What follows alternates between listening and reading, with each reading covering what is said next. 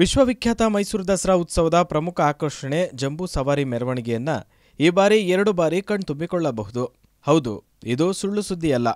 ದಸರಾ ಮಹೋತ್ಸವದ ಅಂಗವಾಗಿ ನಡೆಯುವ ಪಂಜಿನ ಕವಾಯತು ಮಾದರಿಯಲ್ಲಿ ಜಂಬೂ ಸವಾರಿ ಮೆರವಣಿಗೆಯ ರಿಹರ್ಸಲ್ ನಡೆಸಲು ಜಿಲ್ಲಾಡಳಿತ ತೀರ್ಮಾನ ಮಾಡಿದೆ. ಅಕ್ಟೋಬರ್ ಹತ್ತರಿಂದ ದಸರೆ ಆರಂಭಗೊಳ್ಳಲಿದ್ದು, ಹತ್ತೊಂಬತ್ತರಂದು ಜಂಬೂ ಸವಾರಿ ನಡೆಯಲಿದೆ. ಹದಿನೇಳರಂದು ಜಂಬೂ ಸವಾರಿ ರಿಹರ್ಸಲ್ ನಡೆಸಲು ದಸರಾ ಕಾರ್ಯಕಾರಿ ಸಮಿತಿ ನಿರ್ಧರಿಸಿದೆ. ಈ ರಿಹರ್ಸಲ್ನಲ್ಲಿ ಸ್ತಬ್ಧ ಚಿತ್ರಗಳನ್ನು ಹೊರತುಪಡಿಸಿ ಉಳಿದೆಲ್ಲ ಕಲಾ ತಂಡಗಳು ಭಾಗವಹಿಸಲಿದೆ ಎಂದು ಜಿಲ್ಲಾಧಿಕಾರಿ ಅಭಿರಾಮ್ ಜಿ ಶಂಕರ್ ತಿಳಿಸಿದ್ದಾರೆ. ಈ ಹಿಂದೆ ಜಂಬೂ ಸವಾರಿಯ ರಿಹರ್ಸಲ್ ನಡೆದರೂ ಅದು ಕೇವಲ ಅರಮನೆ ಆವರಣಕ್ಕೆ ಸೀಮಿತವಾಗಿತ್ತು. ಆದರೆ ಈ ಬಾರಿ ಜಂಬೂ ಸವಾರಿಯ ಸಂಪೂರ್ಣ ಮಾರ್ಗವನ್ನು ಮೆರವಣಿಗೆಗೆ ಬಳಸಲು ನಿರ್ಧರಿಸಲಾಗಿದೆ. ಆ ಮೂಲಕ ಜಂಬೂ ಸವಾರಿ ಮೆರವಣಿಗೆಯಲ್ಲಾಗುವ ತಪ್ಪುಗಳನ್ನು ಸರಿಪಡಿಸಲು ಅನುಕೂಲವಾಗಿದೆ ಎಂದರು. ಸಾಮಾನ್ಯವಾಗಿ ಪ್ರತಿ ವರ್ಷ ದಸರಾ ಅಂಗವಾಗಿ ನಡೆಯುವ ಜಂಬೂ ಸವಾರಿ ವೀಕ್ಷಣೆಗೆ ದೇಶ ವಿದೇಶಗಳಿಂದ ಲಕ್ಷಾಂತರ ಮಂದಿ ಆಗಮಿಸುತ್ತಾರೆ. ಕಿಕ್ಕಿರಿದ ಈ ಜನಸಂದಣಿ ನೂಕುನುಗ್ಗಲಿನ ನಡುವೆ ಸ್ಥಳೀಯವಾಗಿ ಮೈಸೂರು ಹಾಗೂ ಸುತ್ತಮುತ್ತಲಿನ ಲಕ್ಷಾಂತರ ಜನರಿಗೆ ಇಂದಿಗೂ ಜಂಬೂ ಸವಾರಿ ಮೆರವಣಿಗೆಯನ್ನು ವೀಕ್ಷಿಸಲು ಸಾಧ್ಯವಾಗಿಲ್ಲ. ಅವರಿಗೆ ಒಂದು ಅವಕಾಶ ಮಾಡಿಕೊಟ್ಟಂತಾಗುತ್ತದೆ. ಇದಲ್ಲದೆ ದಸರಾ ಮಹೋತ್ಸವದ ಸಂದರ್ಭದಲ್ಲಿ ನಗರಕ್ಕೆ ಮತ್ತಷ್ಟು ಪ್ರವಾಸಿಗರನ್ನು ಸೆಳೆಯಬಹುದು. ಪ್ರವಾಸೋದ್ಯಮವು ಬೆಳೆಯುತ್ತದೆ ಎಂಬ ಉದ್ದೇಶದಿಂದ ಜಂಬೂ ಸವಾರಿ ರಿಹರ್ಸಲ್ ನಡೆಸಲಾಗುತ್ತಿದೆ ಎಂದು ಹೇಳಿದರು. ಜಂಬೂ ಸವಾರಿ ಮೆರವಣಿಗೆಯಂತೆ ರಿಹರ್ಸಲ್ ದಿನದಂದು ಅಲಂಕೃತ ಆನೆಗಳು ಅರಮನೆ ಆವರಣದಿಂದ ಬನ್ನಿ ಮಂಟಪದವರೆಗೆ ಮೆರವಣಿಗೆಯಲ್ಲಿ ಸಾಗಲಿವೆ. ಆದರೆ ಅರ್ಜುನನಿಗೆ ಚಿನ್ನದ ಇಲ್ಲವೇ ಮರದ ಅಂಬಾರಿ ಹೊರಿಸಬೇಕು ಎಂಬುದರ ಬಗ್ಗೆ ಅಂತಿಮ ನಿರ್ಧಾರ ಕೈಗೊಂಡಿಲ್ಲ. ರಿಹರ್ಸಲ್ ನಡೆದ ಎರಡು ದಿನದಲ್ಲಿಯೂ ಮತ್ತೊಮ್ಮೆ ಅರ್ಜುನ ಅಂಬಾರಿ ಹೊರಬೇಕಿರುವುದರಿಂದ ಅಷ್ಟೂ ತೂಕದ ಅಂಬಾರಿಯನ್ನು ಹೊರಿಸಬೇಕೇ ಬೇಡವೇ ಎಂಬುದರ ಬಗ್ಗೆ ಚರ್ಚಿಸಲಾಗುತ್ತಿದೆ ಎಂದು ತಿಳಿಸಿದರು.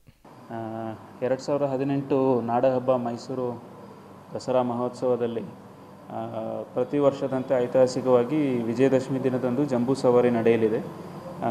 ಅವತ್ತು ಸಂಜೆ ಪಂಜಿನ ಕವಾಯತು ಕೂಡ ಇರ್ತದೆ. ಪಂಜಿನ ಕವಾಯತು ಸಾಂಪ್ರದಾಯಿಕವಾಗಿ ಒಂದಿನ ಮುಂಚಿತವಾಗಿ ಇಲ್ಲಿ ಒಂದು ತಾಲೀಮು, ಅಂದರೆ ರಿಹರ್ಸಲ್ ಮಾಡುವ ಒಂದು ಪದ್ಧತಿ ಇದೆ. ಅವತ್ತು ಕೂಡ ಸುಮಾರು ಸಾವಿರಾರು ಜನ ಬಂದು ಆ, ಟಾರ್ಚ್ ಲೈಟ್ ಪರೇಡ್ದು ರಿಹರ್ಸಲನ್ನು ಬನ್ನಿ ಮಂಟಪದಲ್ಲಿ ನೋಡ್ತಾರೆ. ಈ ವರ್ಷ ಮಾನ್ಯ ಉಸ್ತುವಾರಿ ಸಚಿವರ ನಿರ್ದೇಶನದಂತೆ ವಿಜಯದಶಮಿ ದಿನದಂದು ಹೇಗೆ ಜಂಬೂ ಸವಾರಿ ನಡೆಯುತ್ತೆ, ಅದನ್ನು ಕೂಡ ಒಂದು ರಿಹರ್ಸಲ್ ಮಾಡಬೇಕು ಆನೆಗಳನ್ನು ಇಟ್ಕೊಂಡು. ಈಗ ಹೌಡ ಬಳಸುವುದು ಅದು ಆಮೇಲೆ ತೀರ್ಮಾನ ಆಗುತ್ತೆ ಬಟ್ ಒಟ್ಟಾರೆಯಾಗಿ ಆನೆಗಳ ನೇತೃತ್ವದಲ್ಲಿ ಮತ್ತು ಇತರೆ ಬೇರೆ ಬೇರೆ ಕಲಾ ತಂಡಗಳ ಒಂದು ಸಮ್ಮಿಶ್ರದಲ್ಲಿ ಒಂದು ತಾಲೀಮನ್ನು ಒಂದು ಎರಡು ದಿನ ಮುಂಚಿತವಾಗಿ ಏಕೆಂದರೆ ಆನೆಗಳಿಗೆ ಒಂದಿನ ರೆಸ್ಟ್ ಕೊಡಬೇಕು ಅನ್ನೋ ಉದ್ದೇಶದಿಂದ ಒಂದು ಎರಡು ದಿನ ಮುಂಚಿತವಾಗಿ ಅರಣ್ಯ ಇಲಾಖೆಗೂ ಮತ್ತು ಪೊಲೀಸ್ ಇಲಾಖೆಗೂ ಕೂಡ ಮಾತಾಡಿಕೊಂಡು ಅಗತ್ಯ ಬಂದೋಬಸ್ತು ಮತ್ತು ಇತ್ಯಾದಿ ಮುಂಜಾಗ್ರತಾ ಕ್ರಮಗಳನ್ನು ಕೈಗೊಂಡು ಅದನ್ನು ಕೂಡ ಒಂದು ರಿಹರ್ಸಲ್ ಮಾಡಬೇಕು ಅಂತ. ಇದು ಮಲ್ಟಿಪಲ್ ಇಂಟೆನ್ಷನ್ಸ್ ಅಂತ ಹೇಳ್ಬೋದು. ಒಂದು ರಿಹರ್ಸಲ್ ಸರಿಯಾಗಿ ಆಗಬೇಕು, ಯಾವುದೇ ರೀತಿಯಲ್ಲಿ ಅಡೆತಡೆಗಳಾಗಬಾರ್ದು. ಏಕೆಂದರೆ ಈ ಸಲ ಸನ್ಮಾನ್ಯ ಮುಖ್ಯಮಂತ್ರಿ ಕೂಡ ಹೇಳಿದರೆ ಯಾವುದೇ ರೀತಿಯಲ್ಲಿ ಗದ್ದಲಾಗಲಿ ಮತ್ತು in front of the elephants ಈಗ ಜನ ಓಡಾಡುವುದು ಮತ್ತು ಪ್ರೊಸೆಷನ್ಗೆ ಹೇಗೆ ಶೋಭೆಯನ್ನು ಕಡಿಮೆ ಮಾಡುವ ರೀತಿಯಲ್ಲಿ ಹೇಗೆ ಗುಂಪುಗಳು ತಿರುಗಾಡುವುದನ್ನು ಕಡಿಮೆ ಮಾಡಬೇಕು. ಯಾವುದೇ ರೀತಿಯಲ್ಲಿ ಯಾರೂ ಕೂಡ ಪ್ರೊಸೆಷನ್ದು ಏನು ಆ, ಶೋಭೆ ಇದೆ ಅದನ್ನು ಕಡಿಮೆ ಮಾಡಬಾರ್ದು. The beauty of the procession should remain intact ಅಂತ ಸೂಚನೆ ಕಟ್ಟುನಿಟ್ಟಾಗಿ ಕೊಟ್ಟಿದ್ದಾರೆ. ಅದರೊಂದಿಗೆ ರಿಹರ್ಸಲ್ ಮಾಡಿದರೆ ಅದು ಕೂಡ ನಮಗೆ ಎನ್ಶೂರ್ ಮಾಡಲಿಕ್ಕೆ ಹೆಲ್ಪ್ಫುಲ್ ಆಗುತ್ತೆ. ಮತ್ತು ಇನ್ನೊಂದು ಸ್ಥಳೀಯ ಕಲಾ ತಂಡಗಳಿಗೆ ಯಾರಿಗೆ ಆ, ಕೊನೆ ದಿನಾಂಕ ಭಾಗವಹಿಸಲಿಕ್ಕೆ ಅವಕಾಶ ಸಿಗುವುದಿಲ್ಲ ಇತರೆ ಕಲಾ ತಂಡಗಳಿಗೆ ರಿಹರ್ಸಲಲ್ಲಿ ಪಾಲ್ಗೊಳ್ಳಿಕ್ಕಾಗ್ತದೆ. ಮತ್ತು ಅದು ಕೂಡ ಆ ಮೇನ್ ಹಾಲಿಡೇ ತ್ರೀ ಡೇಸ್ ಬರುವ ಟೈಮಲ್ಲಿ ಕೊನೆ ಮೂರು ದಿನದಲ್ಲಿ ಇರುವುದರಿಂದ ಇಲ್ಲೂ ಕೂಡ ಲಕ್ಷಾಂತರ ಜನ ಪ್ರವಾಸಿಗರು ಇರ್ತಾರೆ. ಅವರಿಗೆ ಕೊನೆ ದಿನಾಂಕ ಮಿಸ್ ಆಗೋರಿಗೆ ನೋಡುವ ಒಂದು ಅವಕಾಶ ಕೂಡ ಸಿಗ್ತದೆ. ಅವತ್ತು ಕೂಡ ಒಳ್ಳೆ ರೀತಿಯಲ್ಲಿ ಏನು ಈ ಹೋಟೆಲ್ಸಲ್ಲಿ ಸ್ಟೇ ಬ್ಯಾಕ್ ಆಗಬೇಕು ಅನ್ನೋ ಒಂದು ಬೇಡಿಕೆ ಕೂಡ ಇದೆ. ಅದು ಕೂಡ ನೆರವೇರುತ್ತೆ ಅನ್ನೋ ಒಂದು ಒಂದು ಉದ್ದೇಶ ಇದೆ. ಸೊ ಮಲ್ಟಿ ಮಲ್ಟಿಪಲ್ ಆ್ಯಂಗಲ್ಸಲ್ಲಿ ನೋಡಿದರೂ ಕೂಡ ಇದು it will be good idea ಅಂತ ನಮಗೂ ಕೂಡ ಅನಿಸಿತ್ತು. ಹಾಗಾಗಿ ಅದಕ್ಕೆ ನಾವು ಪ್ರಿಪ್ರೇಷನ್ಸನ್ನು ಮಾಡ್ಕೊಳ್ತಾ ಇದ್ದೀವಿ. ರೆಗ್ಯುಲರ್ ರೆಗ್ಯುಲರ್ ರೆಗ್ಯುಲರ್ ರೂಟ್ ಪ್ಯಾಲೇಸಿಂದ ಬನ್ನಿ ಮಂಟಪ ಹೇಗೆ ಪ್ರತಿಯೊಂದು ಏನೇನು ವೃತ್ತಗಳಿಂದ ಕ್ರಾಸ್ ಆಗಿ ಹೋಗುತ್ತೆ ಎಂಟೈರ್ ಸ್ಟ್ರೆಚ್ಚನ್ನು ಕವರ್ ಮಾಡುವ ಹಾಗೆ. ಅವತ್ತು ಪ್ಯಾಲೇಸ್ ಒಳಗೆ ಬರೋಕ್ಕೆ ಪಾಸ್ ಗೀಸ್ ಅದು ಯಾವುದು?